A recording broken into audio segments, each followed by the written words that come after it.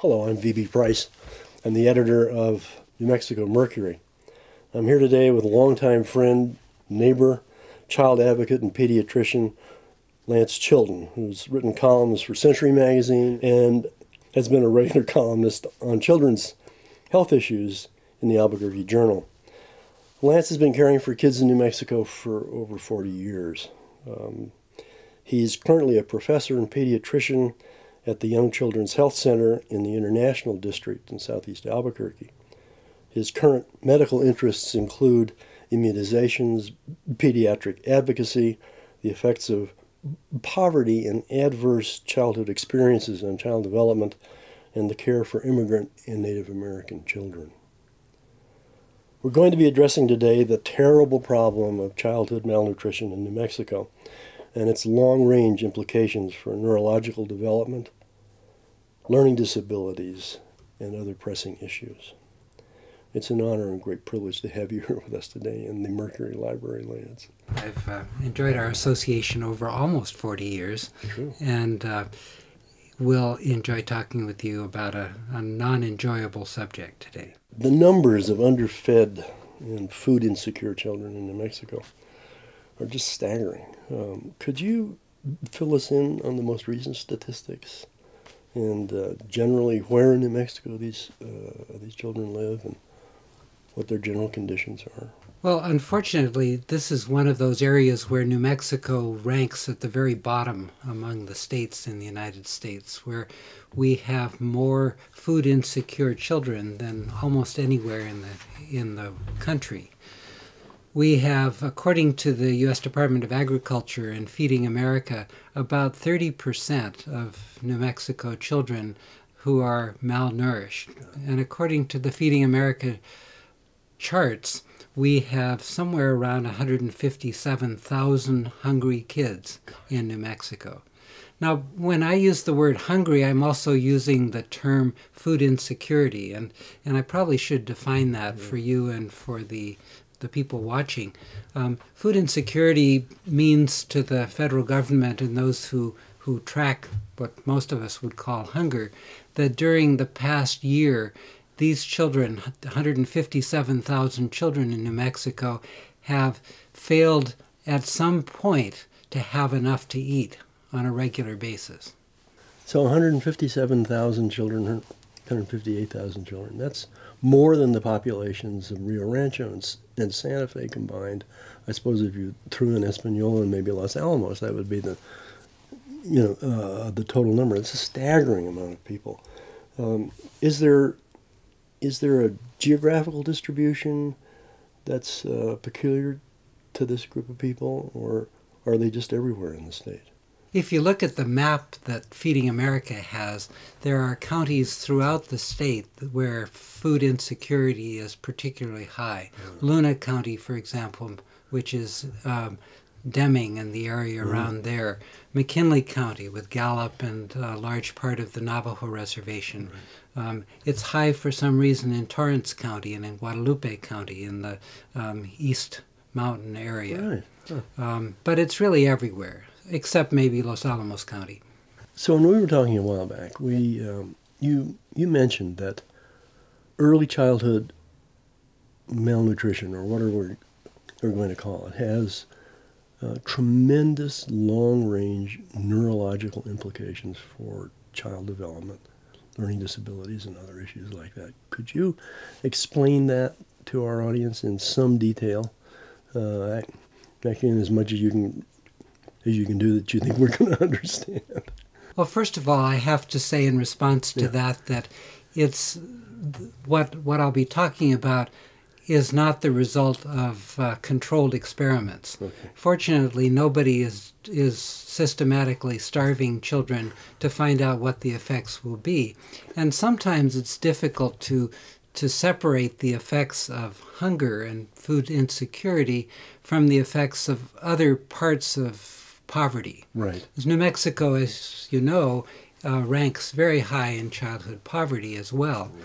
And childhood poverty is associated with food insecurity, but it's also associated with adverse childhood experiences like um, like violence, like parents missing, parents being deported, um, parents who don't have the time or the the inclination to be involved in their children's life. So it's a little bit difficult sometimes to separate those other effects of poverty from the one we're talking about in particular, food mm-hmm. insecurity. Food insecurity is much more common in poor children than it is in any other group of better off children. Um, and so that's, that's the caveat in what sure. I'm about to say. Sure. But, um, but it is clear that children who are food insecure have lower development, lower reading scores, um, lower ability to, to access their education. Um, they, uh, they also have a number of other effects uh, which are uh, interesting. They, they uh, may have more difficulty fighting infection. They may, which in turn may cause difficulty with learning if they're missing a lot of school. Mm. Um, and also, it uh, childhood food insecurity is uh, probably counterintuitively associated with obesity in ah. later life. Huh. Could you explain that a bit? Well, I don't think that I can explain exactly why that's the case, but um, because nobody else seems to be able to explain it either.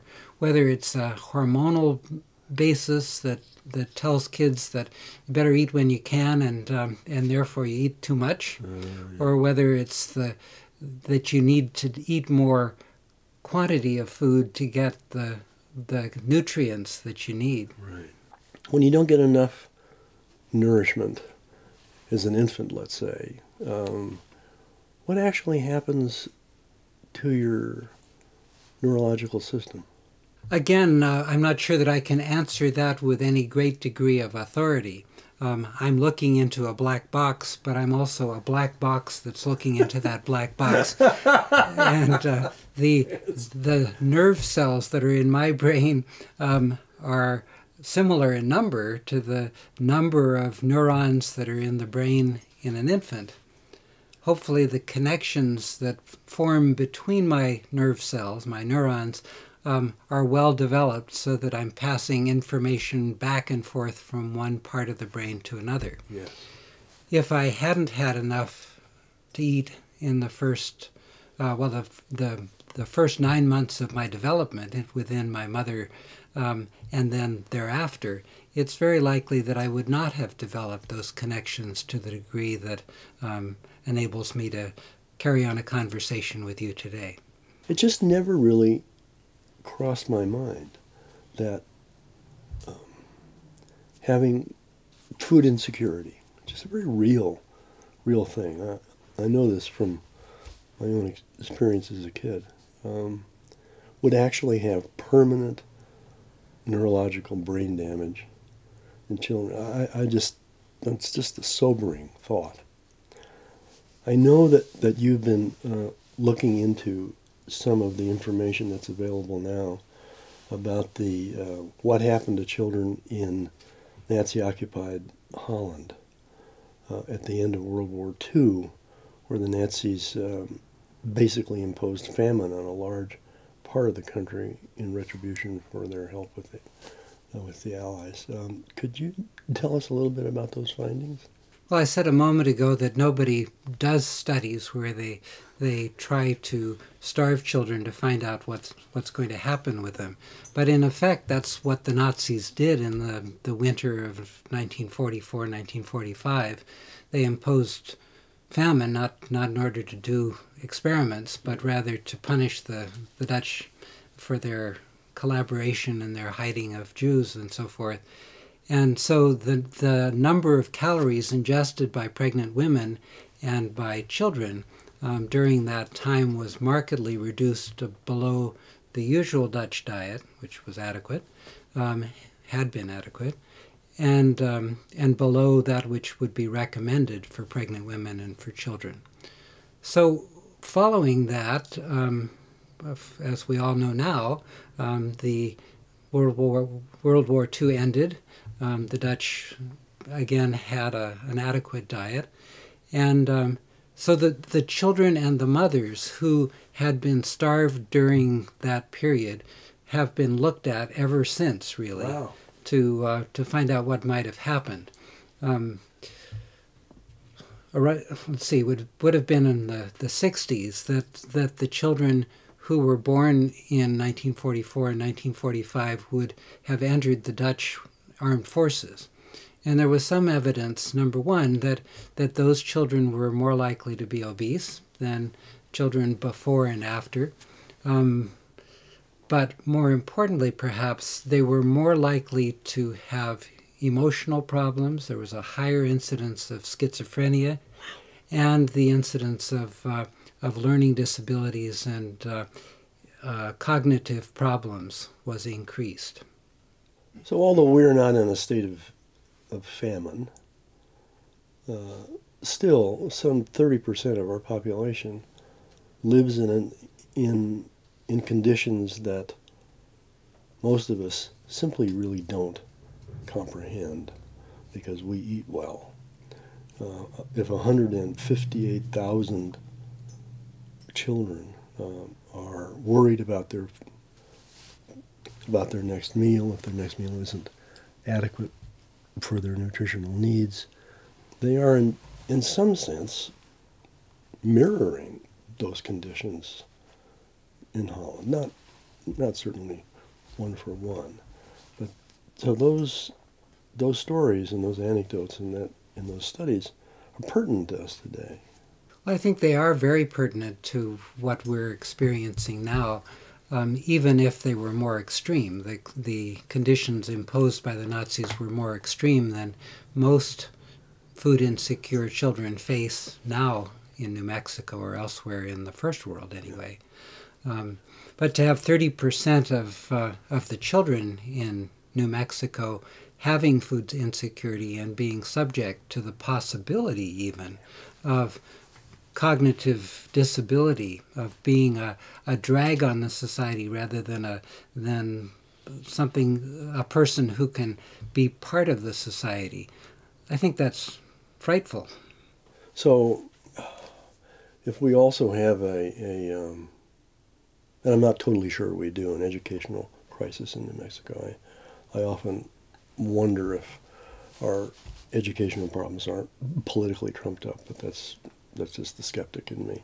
But still, if we do have a number of, of young people who can't uh, compete educationally, that might be one of the reasons. Uh, malnutrition might be a very real reason that simply simply sets them up uh, in an interior and, and internal condition that they can't overcome. So the question I want to ask, I guess, really, is are these early neurological problems, let's say, uh, are they permanent? Do they last all of one's life usually, or is there, or is it a little more, a little more uh, vague than that? Again, I think it's a little bit hard to separate out the effects of of hunger per se or food insecurity per se uh, as compared with the complex of things that go along with poverty. So I think of it as sort of a, of a vicious cycle. Mm. Poverty begets food insecurity, begets not doing well in school, begets poverty, um, yeah. lack of job achievement, and so forth, and so on around the, the, the circle. Uh, I think if there's any chance, and I think there's a very good chance based on the Dutch experience and elsewhere, that hunger, food insecurity have a, an effect on economic productivity, to put it crassly, or um, child development and, uh, and human humanity and human development, then we ought to be putting a lot of effort into doing something about it. Absolutely. Uh, I, I, just it just staggers me that that a civilized, allegedly civilized society, a rich society, a society just brimming over with enormous abundance, could have thirty percent of its children be poor, be starving. Just doesn't seem. I mean, it's a sin. Um, I'm sorry. It, it's just, it just um, tears my heart out. Um, I, I do know though that you have also been advocating for a long time uh, on the beneficial properties of breastfeeding. That this particular, uh, that malnutrition can often be put off or indeed um, avoided by breastfeeding. Could you talk about that a little bit? Well, I believe in evolution. I think you do too. I do too. And um, I believe that over the however many hundred thousand years there have been humans around, that breast milk has been perfected so that the, the women who make good breast milk are, are those who've, whose descendants have prospered and have raised more children. Right.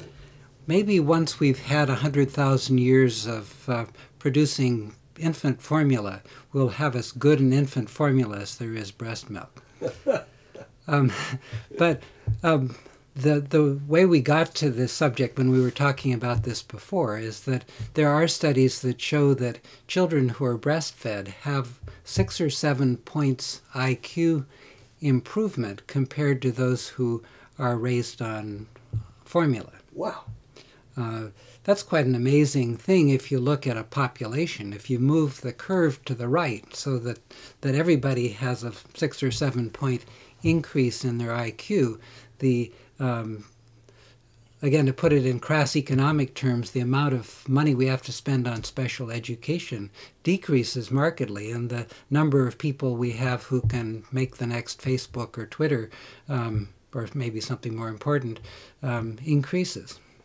So, even if you're uh, um, a mother in a working poor situation, uh, and you yourself have some food insecurity, your milk might well offset the negative impact of the food insecurity of your child. Yes, I think even in places where people are resource starved, to use that term again, yeah. um, babies are very good parasites. They're able to steal from their mother just what they need in terms of nutrients, even if the mother um, suffers deficiencies of such things as iron or calcium or other uh, important things that babies need.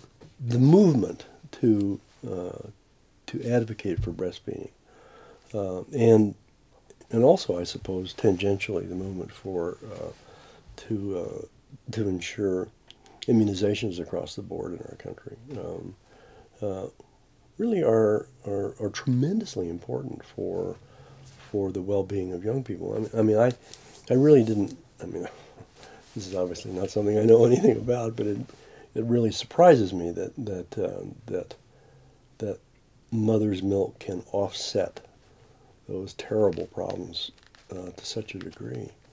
Um, I mean, a six a six point uptick in one's intelligence is a remarkable benefit. I'm, I'm pleased that you have paired breastfeeding with immunization.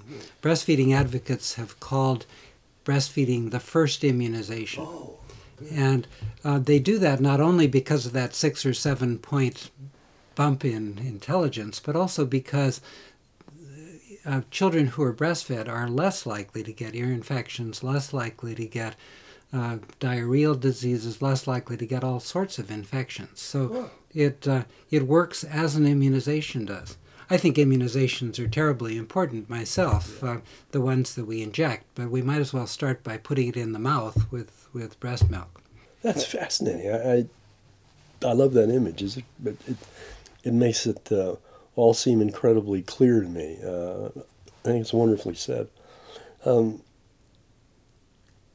I wondered if we could sort of um, leave leave the realms of of, um, of studies and things and talk a little bit about your experiences with real children. You've been dealing with kids for so long. You must have seen endless endless things. And I know you can't talk about your patients and all that, but but are there any sort of general stories that you have that you think would would illustrate the uh, the depth of these problems?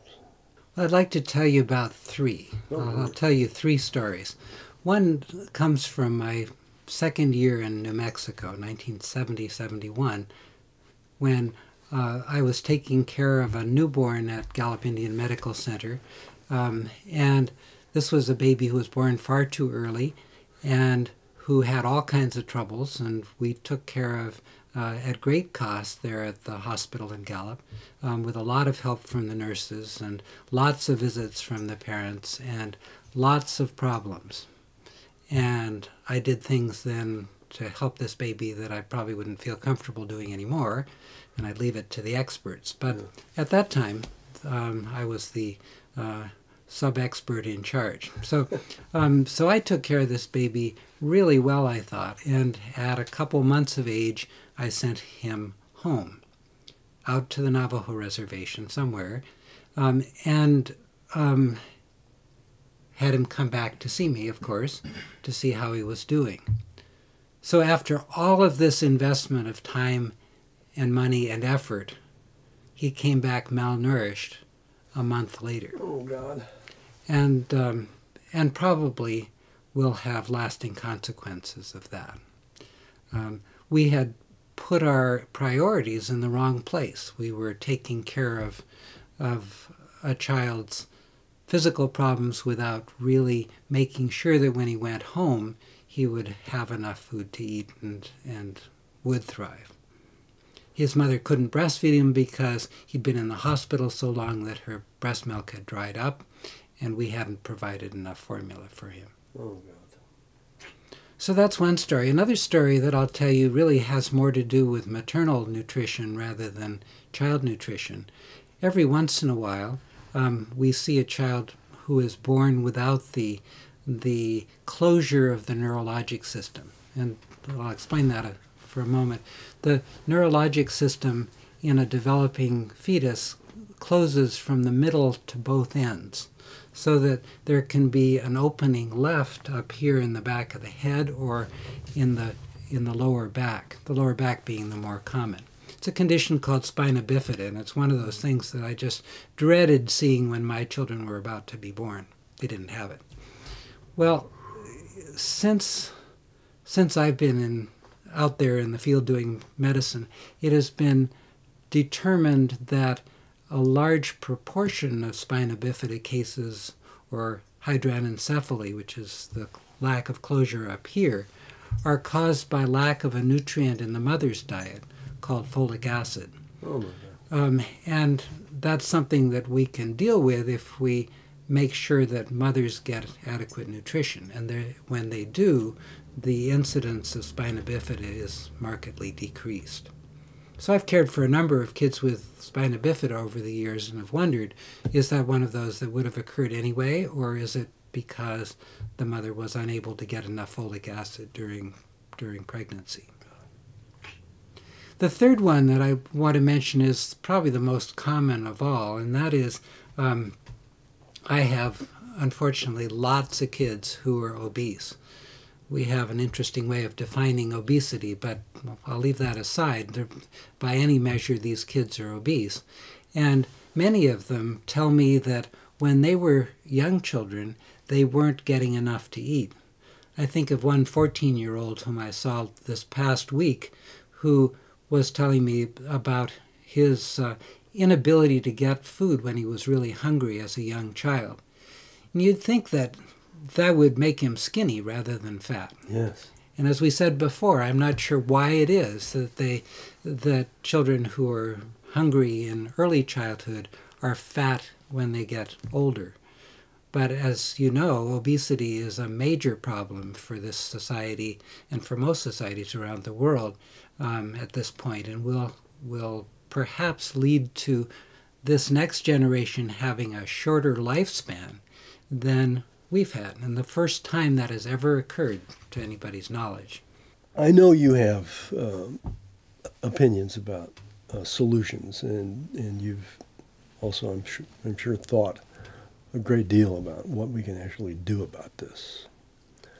Aside from, I guess, a major sociological revolution in America in which wealth distribution is is a little more equitable and um, and uh, humane values are at the top of the list rather than at the bottom.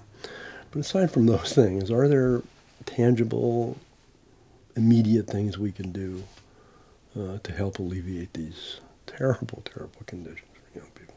Well, in answering that, I think I first have to um, not accept your invitation to bypass the societal reasons for hunger. Uh, I, I want to say again that most hungry children are poor children.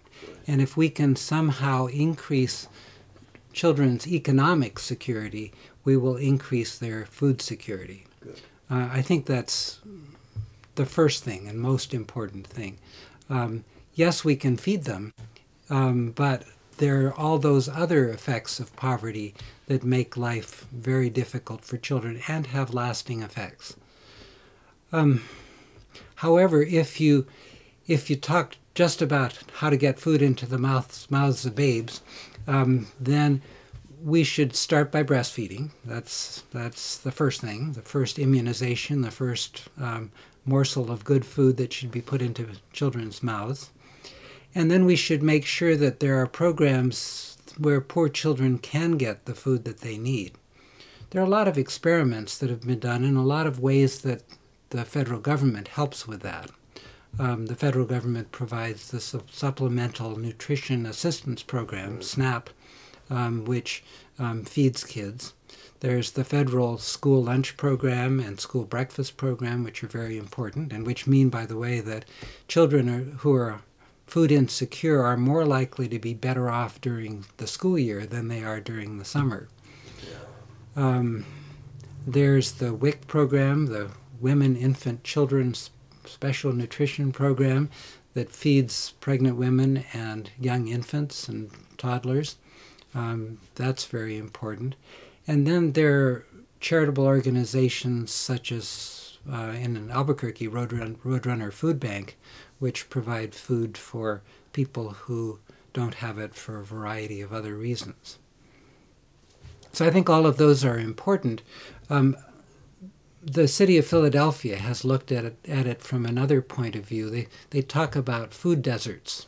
Yeah. You may have heard of that term. The, um, we don't seem to have food deserts like that in Albuquerque, at least. Um, we even in the part of the city where I work, uh, where people are poor, um, there are good supermarkets and places where you can get fresh fruits and vegetables. But Philadelphia has shown that by providing foods like that, fruits and vegetables, um, to people living in very poor neighborhoods, they can improve the nutritional level of the children in those areas. So those are just some of the many ways in which it can be done. Um, I I think of these as investments in children yeah. and in people in general. Yeah. And I hate to see it when um, when I look at what's happening in Washington with the Farm Bill right now, where the Senate wants to cut only four billion dollars out of uh, out of the SNAP program over the next five years, and the the House wants to cut twenty billion dollars out of the out of uh, uh, SNAP program over that period of time. Um, hopefully, neither will get through, and they'll maintain funding, and hopefully there won't be delinking of assistance for rich farmers from assistance for poor children. Do you imagine that anybody who is willing to cut SNAP or food stamps really has any concept about what it means uh, to working poor families in the United States and working poor families in New Mexico to lose even a, a small portion uh, of that assistance. Do you think they really understand? Well, this is a country that that really enjoys the Horatio Alger story, the rags to riches. But if you look at who's in those seats in the 435 members in the House and the what is it, 100 members of the Senate, um, they're not poor people. They're, most of them do not have a Horatio Alger story, no matter how hard they try. And so I don't think they can appreciate how it is to be poor, how the effects of this um, reach down to children and cause long term effects. So I think it's very important for us as pediatricians and for you as everybody else to make the point that children can't make for themselves that that food is important that poverty is or lack of poverty is important and that we need to do something about this. We've done pretty well by the elderly. If you look at the figures um, on hunger in in New Mexico for example only 20% of all New Mexicans are food insecure only. That's uh, but compared to 30% of the whole population um, of the population of children, um, that means that we're doing a lot better for everybody else, and we've done a whole lot better for old people since the Johnson Revolution with Social Security and Medicare and so forth. It's time to have that kind of, of effect for children as well.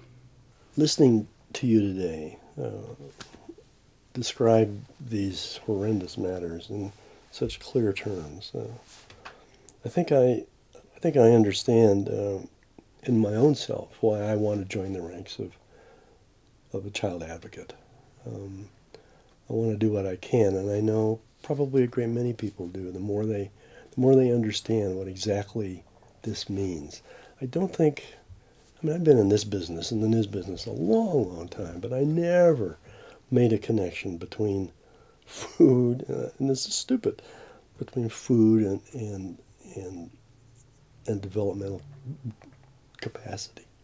Uh, to start off with something that can be avoided, that can just never happen, well, but almost never happen, with just a few basic changes, it just seems criminal not to make those changes. Thank you so much today. I'm just terribly grateful to have you here and hope we can have you back and talk about the, about these matters in different terms and in different forms later on. Uh, I know you've been working all your working life to help children, and they are the they are the most vulnerable ones, and uh, I'm deeply grateful to you for being here and for doing your work. Thank you, Barrett. The children really need people like you, and maybe people like me and the people that I work to train to advocate for them.